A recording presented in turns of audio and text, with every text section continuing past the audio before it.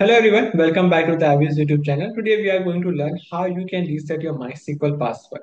So let's start it. So first you need to create a text file. So you can create the text file into your desktop or you can create the text file in any of your drive.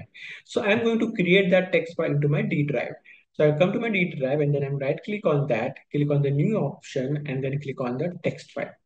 Now just give the name of that file MySQL password. Open that blank text file and inside that blank text file, you need to write a SQL query. That SQL query will help you to reset the password. So I'm going to start the query with alter user, then give the root, close, at the rate, start with single quote again, localhost, close the single quote, identified by, start a single quote, and close it. Now in this between single quote, you need to mention what is the new password that you're going to give.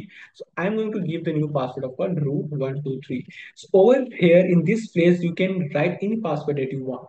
Then I'm going to close this with a semicolon.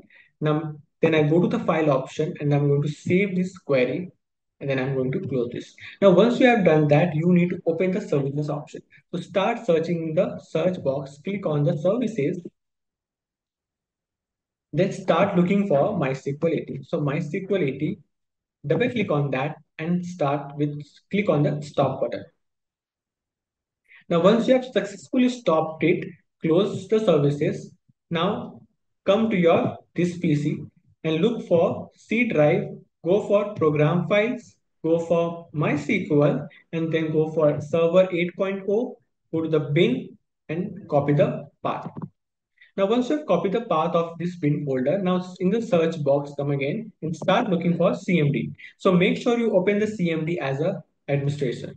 So click on administrator, click on yes, and then I'm going to change the directory to the file. I don't want to. Let's close the one. CD, copy the path which you have. Click enter. Now I have changed the directory. Now, now come back to the disk drive now go to the C drive. Over here, you need to find a program data, which is not visible. So for that, you need to enable it. So click on the view option, show option of called hidden items. Now, once you click on the hidden item, you will see there's option of called folder of called program data. Now go to the program data folder, go for MySQL, go for SQL Server, and over here, come here, and then you need to write op slash my in file. So you need to copy this part Okay. After writing my dot ini, copy this path, come over here. Then I'm going to start write mysqld hyphen hyphen defaults hyphen files equal to. Then I'm going to paste this path. So make sure you give a double quote at the end and as well as the beginning of your path. Okay. Then give one space write hyphen hyphen init init hyphen file equal to then go back over here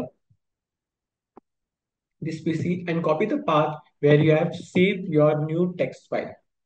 Copy this path, paste it over here, hyphen hyphen console. So here, one thing that you need to understand, make sure you don't give a space between file and equal to. If you give a space between file and equal to over here, then it will not work. So click on enter. It started. Now it's ended. Now press Control Shift Escape button to open the task manager. And once you open the task manager, click on CMD, right click end task. Now once you have end the task, now you have to go to the services again, services, now look for MySQL again. Start. Now I've successfully started the server. Now let me open MySQL again.